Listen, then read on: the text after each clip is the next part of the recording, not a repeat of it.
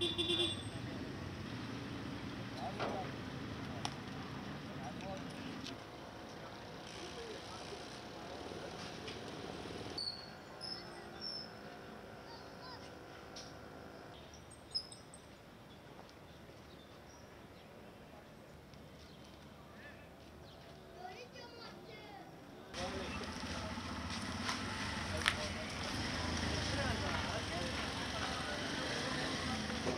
إحنا البارحة عندنا شهداء وجرحى بإطلاق نار حي وكله مثبت ومقاطع فيديو لحد الآن هم تحت العمليات في مدينة الصدر. اعتقالات للجرحى.